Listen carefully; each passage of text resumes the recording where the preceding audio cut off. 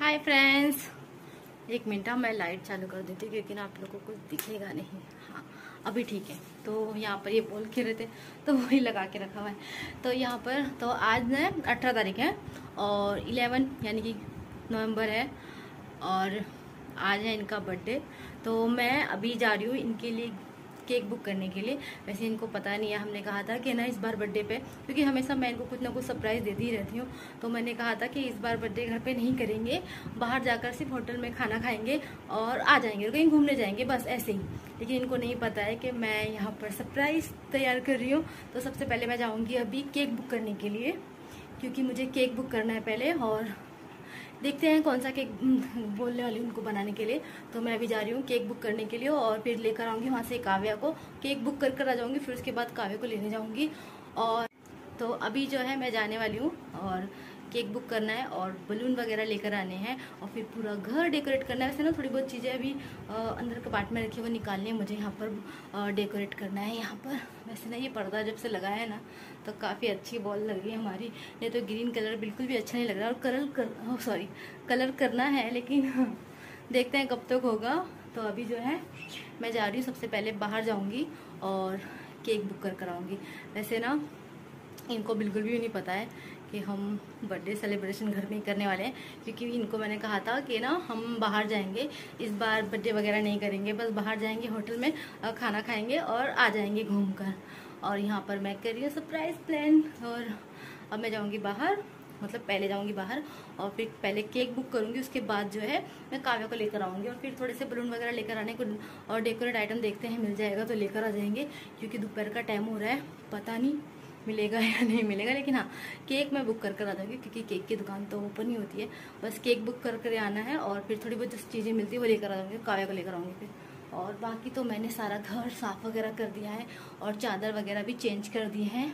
Mat वगैरह लगा दिया यहाँ पर मैं ना लिस्ट बना रही थी कि खाना में क्या क्या बनेगा आज। और देखते हैं आज क्या स्पेशल करते हैं, इनके लिए क्या बनाऊँगी स्पेशल पिछली बार तो मैंने बहुत सारी चीज़ें बनाई थी, इस बार देखूँगी मैं क्या क्या बना पाऊँगी। तो चलिए चलते हैं और तैयारी करते हैं इनके बर्थडे की और आप सब लोग भी कमेंट में विश कर दीजिएगा। तो चलिए मिलती हूँ आप लोगों से थोड़ी देर में। तो मैं अभी जा रही हूँ केक बुक करने और काव्या को भी लाने का वक्त हो गया है। तो मैंने कहा उसको भी ले आती हूँ साथ के साथ। तो केक मैं बुक करके आ गई थी और अब काव्या को भी लेकर आ गई हूँ। और काव्या आते के साथ ही उसकी मस्ती शुरू हो गई है। जब स्कूल से जैसे आती है तो उसको तैयार करना वापस से बहुत मुश्किल होता है। इधर से उधर भागती रहती है। तो ये देखिए वो मस्तियाँ चालू है इसकी। तो मैंने कहा, चलिए, जब तक टाइम होता है, तब तक मैं क्या करती हूँ, खाना बना लेती हूँ। तो यहाँ पर ना मैंने शिमला मिर्च, टमाटर, कांदा कट करके रखा है। यहाँ पर मैं ये मसाला बनाने वाली हूँ, जो कि मैं पनीर की भाजी में, पनीर टिक्का में ऐड करूँगी। तो इसको मैंने कढ़ाई में हल्का सा भून लिया उसके बाद मिक्सचर में पीस लूँगी। और यहाँ पर मैंने पनीर टिक्का बनाने के लिए ना, इस मसाले को मैं थोड़ा सा इसमें डाल देती हूँ पीस कर और यहाँ पर जो है मैंने हल्दी ऐड की है और गरम मसाला, लाल मिर्ची पाउडर तो ये सब मसाले इसमें ऐड कर दूँगी मैं। और यहाँ पर थोड़ा सा चाट मसाला भी मैंने ऐड किया है। और यहाँ पर दही ऐड कर दिया ये है कस्तूरी मेथी। उसके बाद उसको रख देंगे साइड में। और यहाँ पर क्योंकि मैं एक साथ दो दो काम कर रही हूँ, यहाँ पे पनीर की भाजी बना रही हूँ। तो ये देखिए, पनीर की भाजी के लिए ग्रेवी एकदम तैयार हो चुकी है। तो यहाँ पर इसे मैंने कांदा, टमाटर और शिमला मिर्च को मिक्स कर दिया है। और ये वाले जो पनीर है ना, इसमें भी मैंने हल्दी मिर्ची ये सब लगा कर इसको तेल में फ्राई कर दूँगी और फिर इसको भाजी में ऐड कर करेंगे देखिए, पनीर टिक्का बनकर एकदम तैयार हो गया है।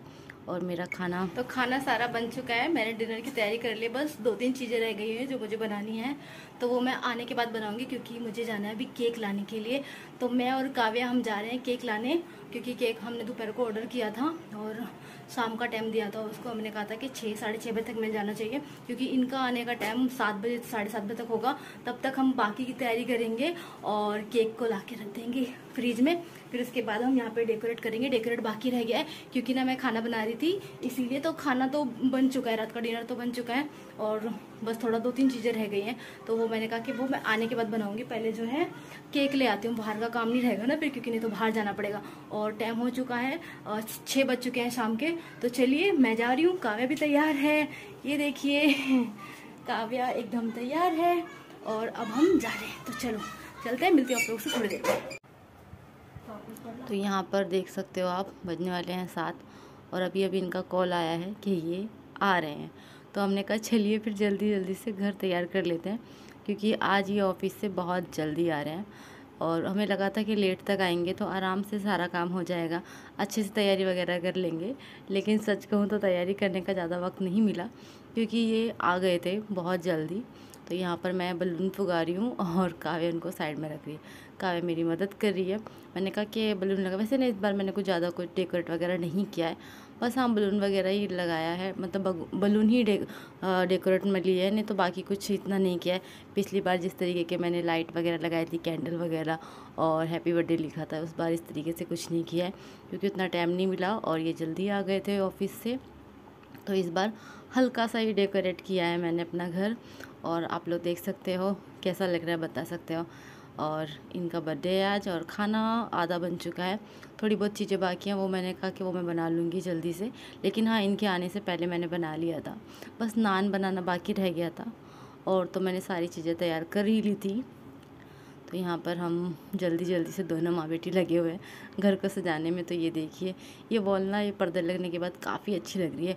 और यहाँ काव्या की मस्तियाँ शुरू हैं, देख सकते हैं आप। और यहाँ पर मैंने टेबल पर भी चार बलून लगा दी इस तरीके से। और ये देखिए, ये ऑफ़िस से आ गए हैं। और हमें बिल्कुल भी मौका नहीं मिला इन्हें सरप्राइज़ देने का अच्छे तरीके से। लेकिन इतना तो है कि घर वगैरह सजा दिया था हमने केक इनको बिना बताए लेकर आए थे और खाना भी अच्छे से इनके लिए बनाया था। बस इतना है कि हम इन्हें सरप्राइज़ देना चाहते थे कि ये जब आएँ तो हम अच्छे से मतलब इनको सरप्राइज़ देने पता ना हो। लेकिन जब ये आए तो दरवाज़ा गलती से खुला रह गया था और ये डायरेक्ट आ गए थे। तो यहाँ पर देखिए, मैं केक लेकर आ गई हूँ और अभी ऐसा भी सिंपल सा किया इस बार। लेकिन इनको तो पसंद ही आया। तो यहाँ पर हम पहले आरती करेंगे और फिर केक कट करेंगे। और ये देखिए, आते के साथ ही इन्होंने मैच लगा दिया है और इनका पूरा ध्यान मैच पर है। और अभी देख सकते हो, साढ़े सात भी नहीं हुए हैं। साढ़े सात से पहले हमने केक कट कर लिया था, क्योंकि हम थोड़ा सा बाहर घूमने गए थे नीचे। और हमने कहा कि जल्दी केक कटने कर केक सॉरी केक कट करने के बाद थोड़ा बाहर जा कर आएँगे थोड़ा घूम कर आएँगे। और खाना भी जल्दी बन गया था मेरा।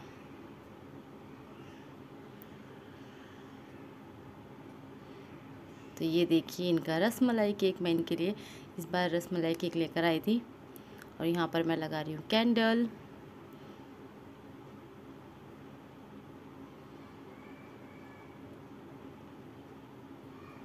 और इनका पूरा ध्यान मैच पर साल भर में सबसे प्यारा होता है एक दिन। सौ दुआए दे रहा दिल तुमको आज के दिन।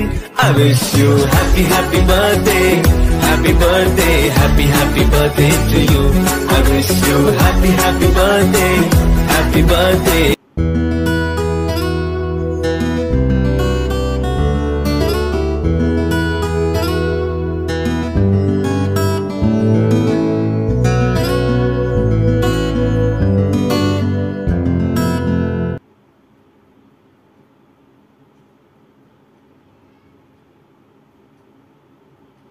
और यहाँ पर ना हम सोच रहे थे कि तैयार होने वाले हैं, अच्छे तरीके से, लेकिन हम तैयार भी नहीं हो पाए थे, क्योंकि ये जल्दी आ गए थे। मैंने और काव्य ने सोचा था कि सारा घर सजा देंगे अच्छे तरीके से, और खाना वगैरह सब अच्छे से बन जाएगा, फिर उसके बाद मैं और काव्य तैयार होंगे। लेकिन ये जल्दी आ गए, फिर हम तैयार भी नहीं हुए। और ये देख रहे हो, मैं इसको फोड़ने की कोशिश कर रही थी, पर पता नहीं क्या हुआ। शायद ये ख़राब निकला, फूटा ही नहीं तो इन्होंने घर रख दो, काव्या का बर्थडे आने वाला है उसमें यूज़ हो जाएगा तो मैंने रख दिया उसको। और पता नहीं क्या हुआ, ख़राब था शायद फूटा ही नहीं, मैंने बहुत कोशिश की। और ये है आज की हमारी थाली और इनके लिए स्पेशल बर्थडे डिनर जो कि मैंने घर पर ही बनाया है। दही और पनीर की भाजी, गाजर का हलवा, रायता राइस और ये है नान। तो चलिए आज का ब्लॉग यहाँ तक ही।